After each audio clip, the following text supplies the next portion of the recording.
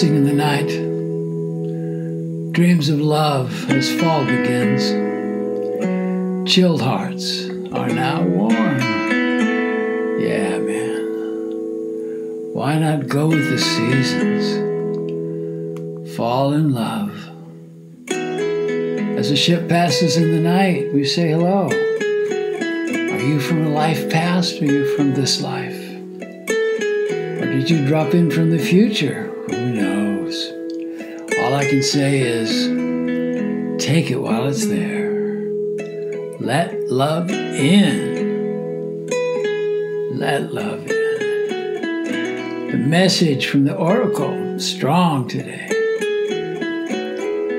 as we enter into fall. Back where the leaves are changing color, it's beautiful. Back on Jenny's farm. It's nice, nice, nice, nice.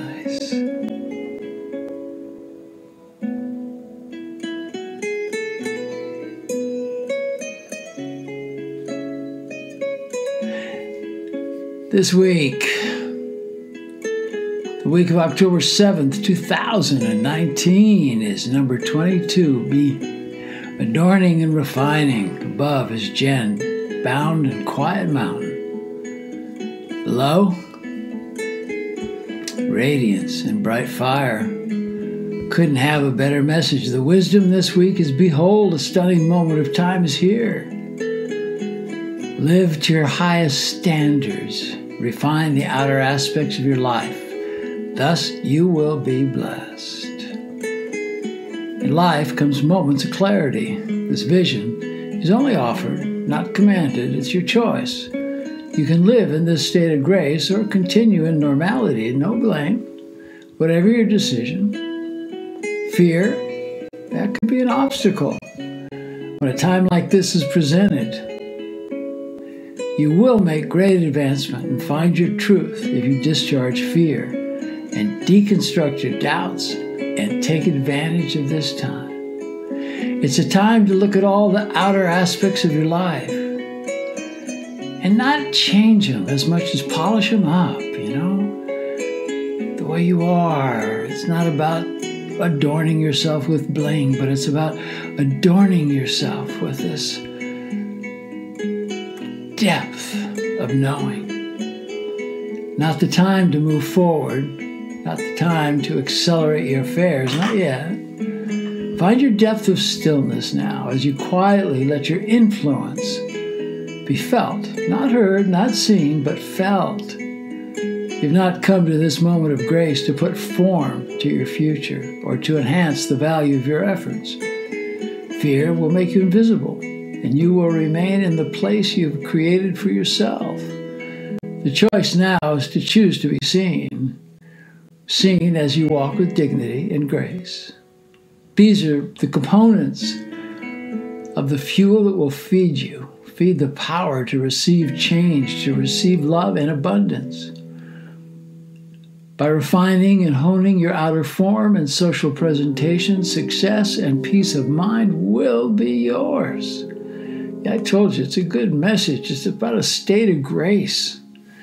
And that's the time of seeing and activating, embracing the highest good for yourself for sure, but along with it, as a companion, your community and your tribe. And it's a high mark.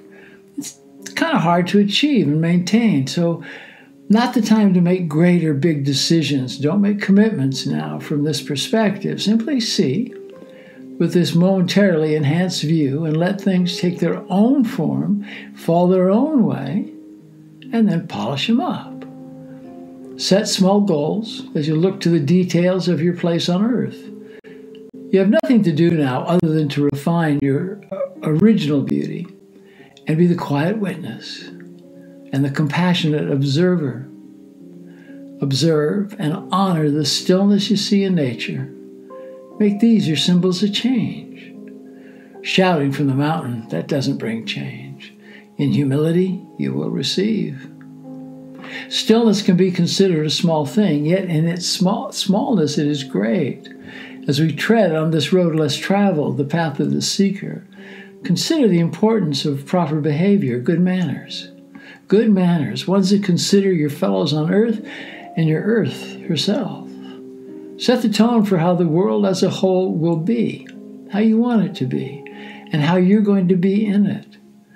In this place of grace, what is yours will come to you, and there'll be peace, and there'll be harmony on earth. See it, live it. We are in an era of great change, and our, survival, our survival, survival our, our literal survival, is dependent on changing a way of thinking and of seeing from negative to positive. You can be the antidote to greed and violence by acting in your life with impeccable, impeccable manners and live with compassion in the way that you treat others and how you behave in relation to your brothers and sisters of Earth's peoples, and always to Gaia, the mother of your Earth. It is correct behavior that creates harmony in the world, and this harmony, that in these coming days all can live in peace with truth of love and abundance. It's that simple, really The greatest advancement comes from the most elementary and simple things that are always available as you hone to the finest point, the fineness of all that is in your outer life.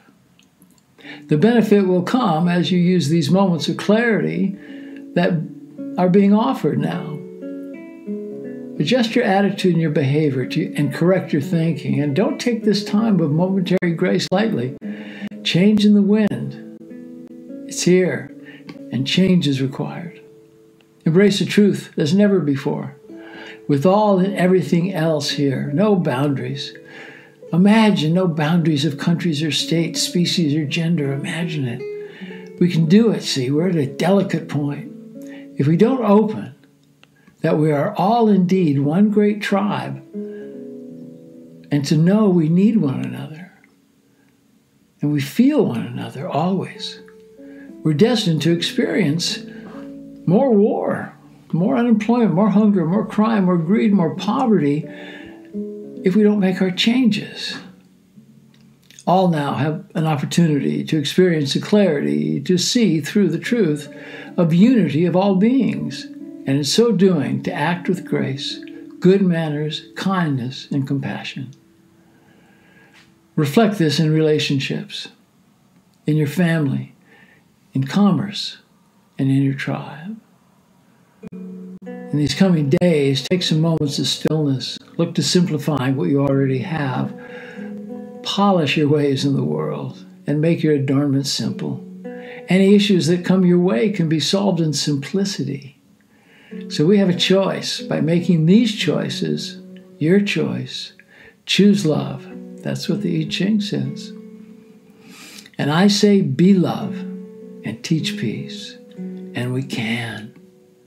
And we can. Just know that the possibilities of being inspired by others, being inspired by our thoughts by looking deep, and by holding these truths deep, deep, deep in your heart. Please, on the text part of the I Ching, look down at the bottom, you'll see at Maha Rose in Brooklyn, we're having a, having a class uh, two weekends from now. It's going to be amazing, beautiful. Please come and please tell me that you listen to the I Ching. I'd love to talk to you. So be the love that you want, and you'll bring it to you. I send you love, my sisters, my brothers. I send you love. I send you peace. All the goddesses out there, really respect yourself. Walk the walk of the goddess. And men, honor yourself first, honor the goddess. You know, we need that now. We need that, and we need to be in that place, in that headspace where men, women, lovers, all get along. And it's about respect, respecting each other. You know, no, no gossip, no small talk, just truth talk. In Lakesh Alakim, am the other you. And I do like it that way, man. Namaste, brothers. Namaste, sisters. Lakesh.